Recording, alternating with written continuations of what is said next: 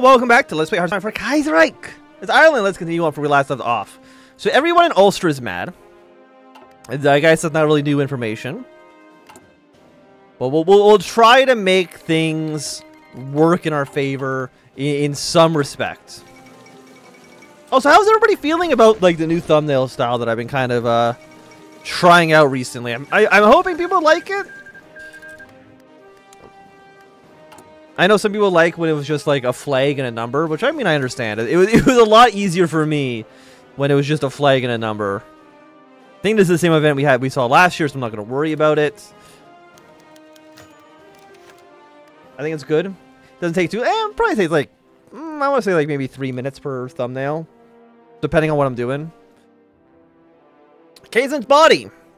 There was surprising consternation about this week's cabinet meeting when the Minister of Foreign Affairs noted the government at the uh, most usual, had the most unusual offer from the Union of Britain, that they returned to watch the corpse of Sir Roger Casement, an Anglo-Irish anti-imperialist campaigner and hero of the independence era. Against his own wishes, Casement was buried in an English prison following his execution in 1916 for treason, after he ran guns from Germany to Ireland for the Easter Rising. An immediate and rowdy debate uh, ensued among the cabinet about whether this is some kind of ploy by the British or a genuine attempt at soothing relations.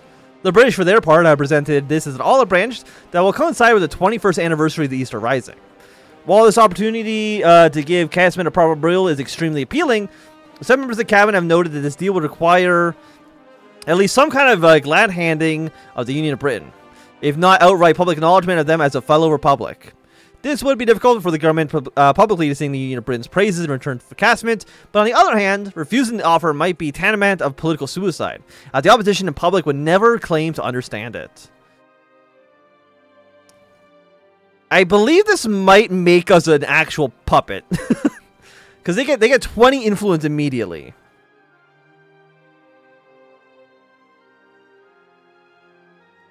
Or, or is it or is it just wait Oh, is it only when this happens? It's not just at any point to get 15 or more points? Should either side have 15 or more influence points than the other at the end of the contest.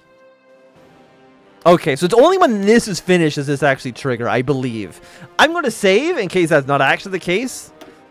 But I don't think they'd make you just like an immediate British puppet for wanting to, uh...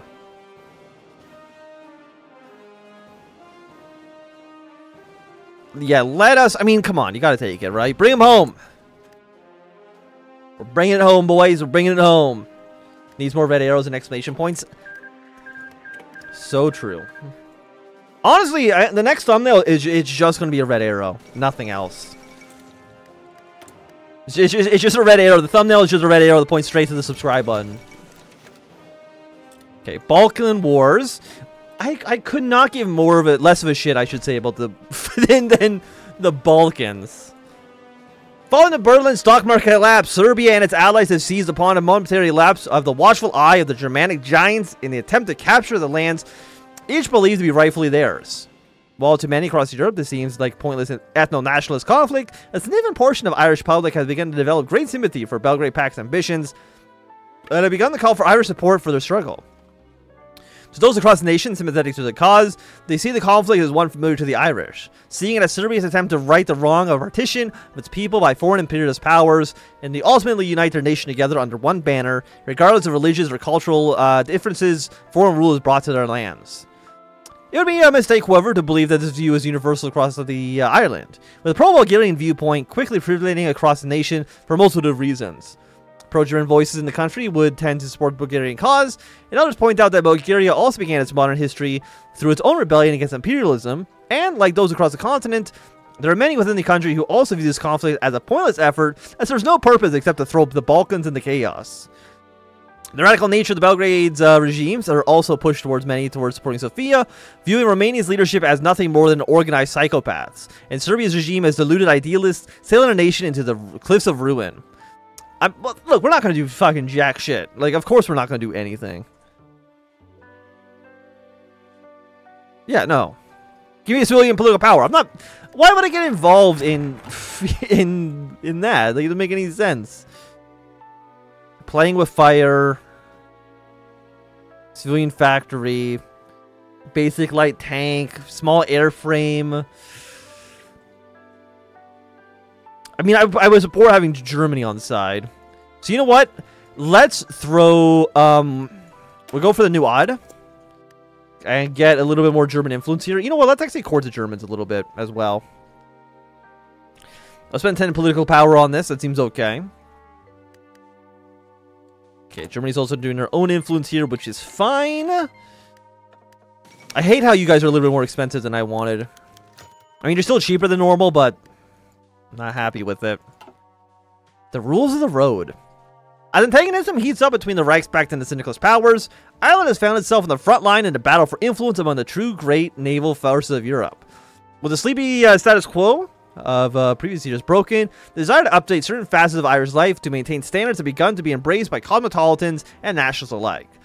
The former seeking to tie Ireland closer to European partners, and the later favoring the abolition of archaic leftovers inherited from the legacy of British rule. Of course, we're to switch. We're to be on the other side. Dismiss the idea. We are recall no more. We lose 5% stability because we're making everybody switch to the other side of the road. You know, actually, I guess that would make sense. I, I feel like if they switch the side of the road to drive it on here, it'd be chaos. You ever see those photos? I think it's of Sweden when they did their um, road change. And, like, everyone's, like, all fucked up. Because nobody knows how the hell to drive. It's Kind of like that. 100% resource efficiency. Uh, I don't want to take any of you right now. You're all 30. I mean, 38 tech's like a little is too expensive right now. Yeah, the the side the same on Northern Ireland to mess things up more. That's a great idea. I'll, I'll we'll make like one of those highways in like city skylines that just look all fucked up because nobody knows how to actually design a highway in that game, and all like loop it in into each other. It'll be beautiful. You know, let's, let's do double resource excavation. Why not? Seems as good a time as any. Ottoman Empire's declare war on Bulgaria. Okay, Sofia, it, it's not happening for you, okay, buddy? How do you pull that 70 already? Well, I guess this actually gives 10. We can buy equipment for influence. But again, we don't want Germany to win. Do I need, what do I actually, what do, do I need guns? I have 3,000 rifles right now. I should train some units, huh? What else we have? Artillery and support equipment. Do I care? Do I care about what are we? What have you been building? Basically, not. I I don't have an economy. I guess we'll buy some artillery pieces here for now. Um, build some military factories when we can. And let's buy... People aren't even selling anything, man. Buy all the Swedish rifles.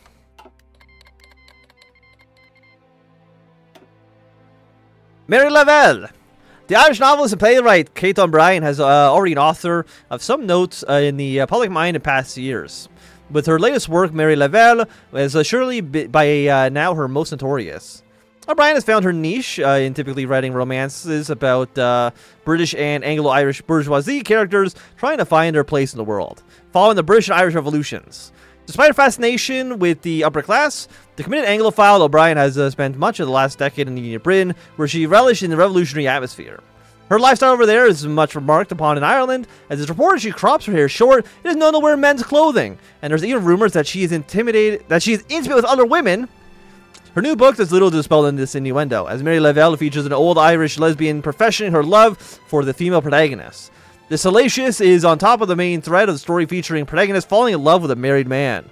Between the scandalous nature of both the author and the work itself, there are calls in some quarters of the book to be banned in the country. Others say it's a comparatively more laissez-faire social attitude of say fan could stand. Well, let's show, I mean, market liberals are in our coalition, so we will, um... The weak mind cannot survive some mild titillation. Let the prudes grumble. Anybody here with a weak mind? I don't I, I, I think I would have to say, I expect my audience to be smarter than average. Maybe I'm crazy. I I, be I believe in my audience to some extent. I mean, you're you are watching Hoi 4, so maybe that does bring it down a bit points. Hey, it's, it's okay, though.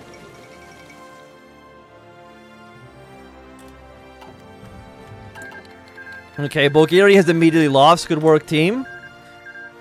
By the way, Car, how are you guys doing down here? I mean, you're holding the front. Somehow the Kingdom of Spain is still alive. I don't know how they've accomplished that. Setting the clocks forward.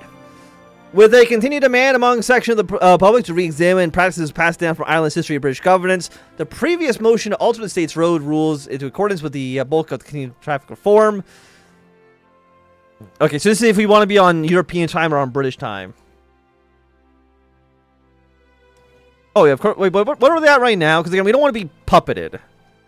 75, 85. Okay, congratulations, uh, Britain. We're going to be on your timetable still. Yeah, you aren't playing the crazy niche mod, though. Look out for something. What's like the niches mod? Anybody see that mod where it turns um, Hoi 4 into Five Nights at Freddy's? I tried playing it, uh, playing it. Could not actually get it to work properly. Ooh, Free, Free Factory. Thank you, Germany. I'm actually really, really happy about that. You're kind of actually dog shit. this is actually like really bad. A 200% research bonus towards industry, though. That one, that's a little bit more interesting for me. Local construction speed genuinely is kind of dog shit. We'll turn all of these off for at least right now. And we will go for... I mean, we're already unlimited. Yeah, but you're only like training time. It's not that bad, actually. Those deep fried mods with memes and references to fandom drama? Holy shit, where, where can I download those? Right, right, negative 5% construction speed. I guess Black Monday is still pretty bad, huh? The Hot July. On the 12th day of July in the year 1690, the Catholic King James II of England was defeated by William Orange in the Battle of the Boyne. For Irish Catholics, James' defeat brought about their subjugation under the harsh penal laws. But for Ulster Protestants, the victorious Wilhelm was a savior who would deliver them from the specter of Catholic domination and solidified their uh, legitimacy to settle in Ireland, having arrived from Britain only a few decades prior. The day has become a key loyalist commemoration, celebrated with marches by the Fraternal Orange Order and with bonfires at night before. Although the majority of loyalists have uh, grudgingly accepted joining the hated Irish Republic as an alternative to syndicalism, the burning of Irish, British, and German flags atop these bonfires took off during the uh, interwar period as an avenue to express passive resistance. Though the month was always a uh, nervous affair due to the ever-present ethno-religious hostilities, the rise of AN, the NLCL, and the UPL made the uh, build-up to this year's 20th um, to 12th particularly tense, as June and the early July were uh, marked by an increase in reports of sectarian violence perpetrated by the blue shirts and the UPL supporters. These mounting tensions exploded on the 12th itself as the confrontation broke down while uh, the Orange Order marched past through a Catholic area, escalating into a riot. Gardaí were ineffective at calling the rioting, and allegations are spreading uh, to lower Gardaí um, siding with the rioters for their own communities. And by the end of the day, several people were dead and many homes were destroyed. Very cool, Ulster. Very cool. I'm very, very happy. Effects when completed. If not completed, we lose a bunch of stability. How do I deal with this? Because it still says there's nine levels to deal with um, Black Monday. Am I missing something? Is there like a... Th yeah, because these are all for Black Monday. We have you as well.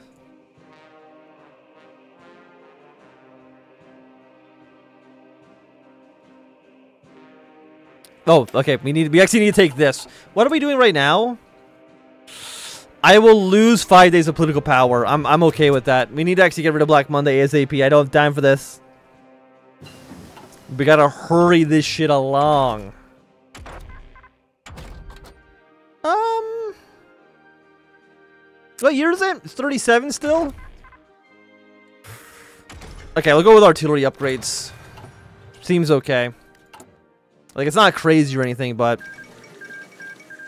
We should be fine with it. Let's go... let's get some trucks building. Throw some artillery in here as well. Like, like, can we afford planes? I, I can't see a reality in which we can. Unfortunately. We can buy some boats. We can buy some Dutch boats. It's an idea. How's the American Civil War going, by the way? Uh, I'm going to say this looks like a CSA victory to me. MacArthur, I don't believe you've got what it takes, unfortunately. Like, it's never been more over for you. Decisions available. Ignore you use. You're both at 95 at the moment. Which I think is fairly reasonable. I mean, because then troops like the American Union state. It's an, it's an idea? The Tailteann Games. Do again for the Gaels um, what you have done for the Greeks. Such were the slogans that littered the pamphlets that have been distributed um, um around Leinster House for the past number of weeks. The relatively successful hosting of the uh, modern Olympic Games in Dublin last year had led to a small but influential group of Irish sports enthusiasts to put pressure on the government to rehost the Tailteann Games. The Tailteann Games, in their original form, were played in the centuries preceding the Norman invasions of the 1169 and 1171 and as far back as over a millennia before the birth of Christ, if legends are true. Tradition holds that they were first held to be mark the funeral of a harvest day of the harvest deity uh, who died of exhaustion after clearing a dense, expansive forest of Cul Myth to form a rich farmland which is now known. These games were declared a time of truce and great test of wit, skill, and strength on display, and a time for celebration and arranging of marriages. Shortly before the onset of the British Revolution in 1924, the Sinn Féin administration of the uh, day uh, hosted a modern-day equivalent to great success. Now, the few weeks after and a uh, largely model out in the Olympic Games in Berlin, the Games brought together hundreds of people of Irish descent from all over the world, as well as some guest competitors invited to come and add to the spectacle. To the chagrin of those uh, petitioning government, however, these games did not come to uh, become a regular fixture. Security concerns and spending issues became too much for successive governments of the day to justify, particularly when the insular nature of the games would mean that there would be little international interest in the uh, to invest increasing the security involved. Even the, even the uh, hosting the Olympic Games themselves uh, have been a tough call to make, and they were only accepted on the back of the international recognition it would bring, assuming it would outweigh the initial cost. But with the world engulfs in further conflict, particularly in America, where so much of the story lies, let alone in the larger sport event being uh, held locally, only recent memory, there was very little appetite in the government to pay heed to these petitions. I don't need, I don't need that 10%, uh, I don't need that 10 political power. I am stronger than that. I don't need that garbage in my life. We'll get it back. Look, where we generate how much? 0.27? Ah, shit, actually, we, did, we actually did need that 10 political power. That's that's pretty that's pretty bad. I made a mistake. I mean, I, I didn't get a choice, but yet I have made a mistake on this. Okay, you're now finished up. Give me another negative 15% on you. So now I can take this. But I need political power. Like, desperately, I, I need political power. Are you guys? 95-95 is okay. Do any of you give me political power?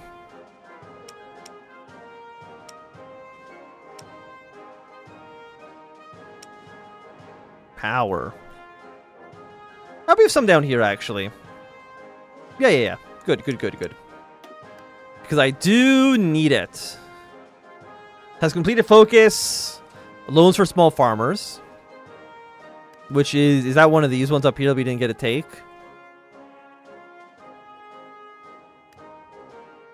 No. It might be over here somewhere. Okay, so this is for the metric system. Um, what are we at right now? 100, 100? I mean, again, I, I do need a political power. So we will take, we will convert to metric.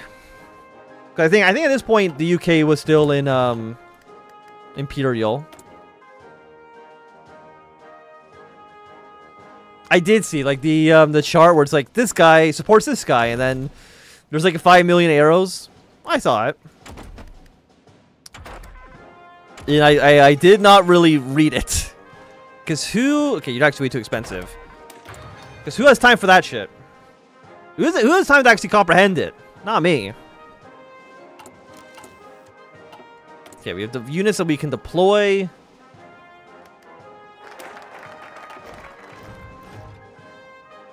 They're three party. They can't even get elected. National discontent will decrease. Political power, political power. I mean, we do need this. Let's get loans for small farmers next. Radio Free Scotland. One of the largest technical developments to note in recent years has been the growth of radio. Although radio broadcasts have existed in Ireland since the mid-20s, the initial range of the channels were limited and required relay uh, stations to carry their signal from Dublin to Cork. However, the technology developed rapidly, and new more powerful transmitters have emerged that carry a signal over vast distances. Spurred on by the success of long-range radio stations in the Low Countries, a group of exiled Scottish activists in Belfast have raising funds for their own station, Radio Free Scotland, planning on purchasing a transmitter with a range of roughly 150 miles. The station will be uh, able to reach both Glasgow and Edinburgh, as well as Liverpool and England. The group's stated uh, aim is simple, to provide an alternate source of news in Scottish culture from the tightly controlled media in the Union of Britain. Although British radio has uh, leaks into Ireland, this new station would be uh, plainly uh, planning to be subversive, and it may be seen as provocation by the British. Okay, so what are we at right now? Kind of maybe... They lose influence. I'm gonna. I'm gonna. We're gonna shut down Radio Free Scotland because again, I, I I can't have the Germans take over the country. So we need to kind of play it safe at least for the time being. God, I need political. I need political power so. We're at 0.29. That's so bad. But I'll say that at least right now is going to be a good time for the end of this episode. If you enjoyed it, remember to thumbs up. Not enjoying it, thumbs down. You want to see more, subscribe, and goodbye.